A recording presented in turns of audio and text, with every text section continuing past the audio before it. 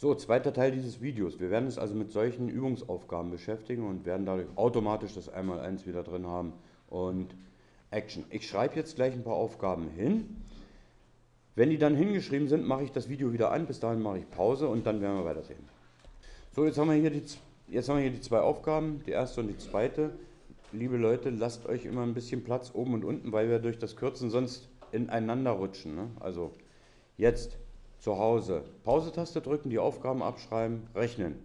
Wir drücken hier auch die Pause-Taste und rechnen und dann kommt die Auflösung. Was ist passiert? Wir haben folgende Ergebnisse und zwar zwei Drittel bzw. 30. Ich habe das mal farbig dargestellt, was hier passiert ist. Ich zeige gleich nochmal, wie man es macht und wie man es auch machen kann. Es ist ja, gucken wir uns das mal hier oben an, es ist ja nicht Pflicht, dass ich immer nur die 4 und die 20 kürze. Na klar, das passt am besten, das geht am leichtesten. Ich kann ja auch die 4 durch 2 nehmen und die 72 durch 2, ne, als Beispiel. Oder ich könnte auch die 81 erstmal nur durch 3 teilen und mit der 3 hier kürzen. Oder die 81 mit der 18 beide kürzen. Das ginge, habe ich in diesem Fall aber gemacht. Das heißt, die Wege nach Rom sind unterschiedlich, das ist nicht das Problem. Auch bei der zweiten kann ich das machen. Ich habe mir deswegen das hier nochmal kopiert. Ich zeige nochmal, was alles machbar ist. Und ich zeige euch mal gleich, was auch äh, sehr praktisch ist. Wir gucken uns gleich mal das oberste Beispiel an. 4 mal 5 ist 20 und hier steht eine 20. Da wäre ich doch eigentlich gut beraten, wenn ich sage 4 mal 5 geteilt durch 20 ist bloß noch eine 1. 20 durch 20 ist eine 1. Logisch, was passiert ist? Wenn man das auch weiß, sagt man 6 mal 12 ist 72. Das kommt später. 6 mal 12 ist 72. Ich kann diesen Wert, der hier rot durchgestrichen ist, gleich durch 72 teilen. Habe ich hier eine 1 und hier eine 1. Die 81 und die 3, nehmen wir mal an, ich habe die 18 noch nicht gesehen, weil die da hinten so einzeln rumsteht. Die kann ich beide durch 3 teilen. Machen wir das mal. Durch 3 ist 1, durch 3 ist 27. Jetzt denke ich, ich bin fertig. Ich mache hier lauter Kringel drum und sage, okay, fertig, fertig, fertig, fertig. Oh, Moment, Moment, Moment, Moment. Beide gehen nochmal durch 9. Durch 9 ist 2, durch 9 ist 3. Jetzt gucke ich nochmal, hier oben, jetzt brauche ich nicht zu kringeln, jetzt weiß ich ja, das war mein letzter Fall. Hier ist eine 2 und eine 3, die gehen beide nicht mehr zu kürzen, also bin ich fertig. Zwei Drittel. Das wäre auf diese Art das Ergebnis. Nochmal abgekürzt. Hier gibt es bestimmt Fragen. Bei der zweiten gibt es Schwierigkeiten, weil die Zahlen sehr groß sind. Aber wir können uns immer behelfen, indem wir sagen, wir kürzen uns ran.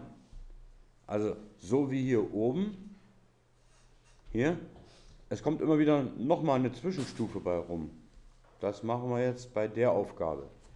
Wir gucken uns diesen ganzen Salat an und sagen, oh, das sieht ja doof aus. Die 39, die geht durch 3. Habe ich hier was, irgendwas durch 3 geht?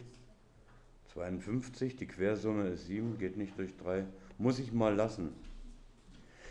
Es geht etwas durch hey, es geht etwas durch. 5, das schnappe ich mir als erstes. Oh, an die 175 traue ich mich jetzt nicht ran. Das lasse ich mal. Aber die 125 durch 5, die geht schnell. Durch 5, fangen wir an. Durch 5 ist 1, durch 5 ist 25. Naja, jetzt geht's schnell. Jetzt kann ich sagen 5 mal 5 und die 25 auf einen Schlag durch 25 weg. Ich könnte mich auch rankürzen könnte sagen 25 durch 5 steht hier eine 5. 5 durch 5 steht hier eine 1. Aber so habe ich diesen ganzen Term, sagt man dazu, mathematischer Ausdruck, auf einen Schlag gelöst. Eine Zahl geht durch 5, wenn sie entweder eine 5 oder eine 0 hinten stehen hat. Die beiden haben eine 5 stehen. Probieren wir es mal. Durch 5, ich zeige gleich mal einen Trick, durch 5 ist 7. Durch, nee, ich mache es mal in einer anderen Farbe nochmal, damit jeder hinterher sieht, was passiert ist. Äh, was hatte ich noch nicht? Ich nehme mal helleres Blau. Durch 5 ist 7. Durch 5 kann ich mich rantasten, indem ich sage, ich mache das fast wie schriftliches, wie Rattenschwanz rechnen. 17 durch 5, das passt. 15 passt dreimal rein, dann bleiben zwei übrig.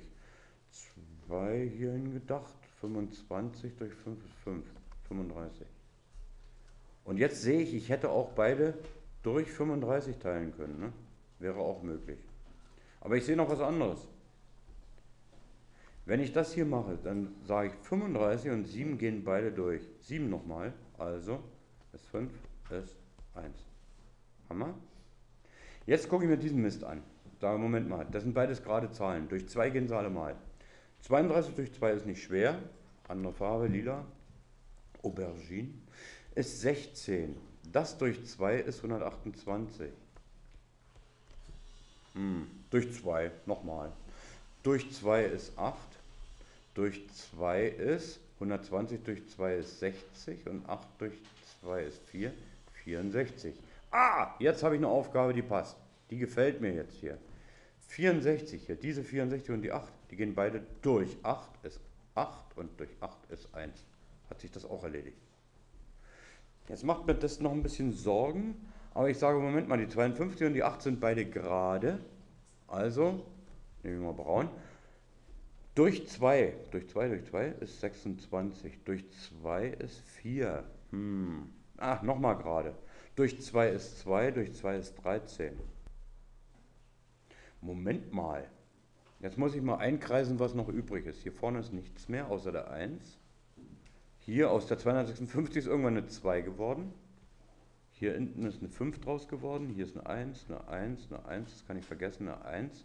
Jetzt habe ich noch diese blöde 13 und die 39. Gucke ich mir die nochmal in Orange an und sage, ah, ah, ah, durch 13 ist 1, durch 13 ist 3. Jetzt ist noch übrig diese 3 und hier ist es wieder eine 1. Gucken wir unten, was ist noch übrig? Nichts. 1, Eintel. Hinschreiben, sicherheitshalber. Ich kann dann gerne noch umformen. Jetzt gucke ich mal, was ist hier? 1 mal 2 mal 3 mal 5. 2 mal 3 ist 6, mal 5 ist 30. Hat funktioniert. Ich habe es jetzt nochmal demonstriert auf eine andere Art. Wie gesagt, man kann es noch ganz anders machen, indem noch andere Zahlenpaare gekürzt werden. Das ist jetzt sehr wild, aber ich hoffe, durch die Farbe und durch das Erklären ist klar geworden, was ich hier gemacht habe. Nochmal, es ist keine Schande zu sagen, was ist jetzt noch übrig? Habe ich was vergessen? Oder beziehungsweise was ist übrig und was muss ich denn miteinander multiplizieren? 1 mal 1 mal 1 bleibt 1 mal 2 ist 2, 3 mal 1 mal 1, alles klar, 3. Dann kann ich nichts vergessen, dann wird es immer richtig sein. Das Kürzen ist eine Übungsfrage, wir werden dann gleich mal weitermachen. Gibt es hier Fragen? Na, nochmal zu diesem Thema, wieso habe ich in grün 5 mal 5 komplett durchgestrichen und die 25 in grün durchgestrichen? 5 mal 5 ist 25 wert. Ich könnte auch folgendes machen, ich mache mal so. Äh, mal diese Stelle nochmal. Ich zeige diese eine Stelle nochmal. Und zwar hier, um das hier geht es, um diesen Komplex und die 125. Ich könnte doch folgendes sagen. Ich muss ja nicht immer äh, gleich kürzen. Ich könnte auch sagen, warte mal, 5 mal 5 ist 25 mal 5 ist 125. Dann streiche ich das durch und schreibe den neuen Wert 125 hin. Funkelt's? Ja. Und ich kann den hinschreiben, ich kann aber auch sagen, Moment mal, das ist 125 wert, das ist 125 wert, ich teile beide durch 125. Nochmal zurück. Na, na komm. Ich mache es nochmal etwas kürzer, ich sage, warte mal, durch 5 gehen sie beide, durch 5 ergibt eine 25, durch 5 ergibt eine 1. Jetzt bleibt bloß noch das übrig hier. Das und das hier die beiden Zahlenpaare. Jetzt mache ich das gleiche wie mit der 125 nochmal. Dann sage ich, warte mal, 5 mal 5 ist 25 und eine 25, statt dass ich durchstreiche und eine neue 25 hinschreibe, sage ich, 5 mal 5 ist 25, durch 25 ist 1. Dann kann ich mir einen Haufen Schreiberei sparen. So war das gemeint. Aha? Okay. Jetzt kamen Fragen, was passiert denn, wenn ich das mit der Zusammenfasserei mache? Muss ich vorsichtig sein und muss wirklich ganz äh, sagen wir, diszipliniert schreiben. Nehmen wir mal an, diese 4 hier, 4 mal 5 ist 20, ne, das steht so schön übereinander. Diese 4, die stünde da nicht, sondern die stünde hier. Und ich sage, das, warte mal, die 3, die rutscht, die rutscht mal hier ein bisschen mit dran und ich habe keinen Platz. So, jetzt wäre es blöde zu sagen, die streiche ich hier weg und schreibe sie hier vorne hin. Gut, weil hier Platz ist, geht das. Aber dann mache ich es lieber sicherheitshalber so, dass ich sage, durch 4 ist 1, durch 4 ist 5, durch 5 ist 1, durch 5 ist 1. Geht schneller, als wenn ich da lange hin und her tausche und umschreibe und dann vielleicht noch durcheinander komme. Das wäre dann ganz dramatisch. Aber wenn das so schick beieinander steht, dann kann man das ruhig mal schnell machen. Hier, 6 mal 12 ist 72 und die 72, da geht's. Machen wir es mal mit Rot. Das ist 72, durch 72 ist 1. 72 durch 72 ist 1. Zack. Ich setze noch einen hinten dran, einen kleinen Rechentrick. Oh, daneben. Einen kleinen Rechentrick und zwar etwas durch 5. Wir nehmen mal an, eine ganz einfache Aufgabe, die jeder kennt. 25 geteilt durch 5. Behaupte ich, ist das gleiche wie 25 mal 2 und danach durch 10. Ja, ja, ist doch klar. Aber wo kann man den äh, Trick anwenden? Wunderschön im Kopf. Nochmal, 25 durch 5, jetzt in Profischreibweise, 25 Fünftel, soll sein wie 25 mal 2 durch 10. Was habe ich denn hier gemacht? Guckt mal. Ich habe hier mal 2 erweitert und hier habe ich eigentlich, wenn ich die 10 mal ersetze, eigentlich auch bloß mit 2 erweitert. Das ist die alte 5. Nicht schön. Das ist die alte 5. Und jetzt mit 2 erweitert, mit 2 erweitert. Und 5 mal 2 ist 10. Also rein rechnerisch ist das nichts Besonderes. Jetzt kommt der Haken. Wo ist das Schöne dabei? 25 durch 5 kann jeder im Kopf, das ist nicht das Problem. Aber was ist denn, wenn ich sage 17 durch 5? Dann sage ich 17 mal 2 ist 34, durch 10 ist 3,4. Peng. Geht nämlich schneller.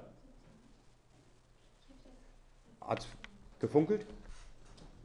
Nochmal langsam. 17 durch 5. Wie gesagt, die einfachen Aufgaben hier oben, also bis, bis hierher habe ich gezeigt, warum das richtig ist. Mal 2 durch 10 ist genauso viel wert, weil das nämlich eigentlich nur eine kleine Erweiterungsaufgabe ist.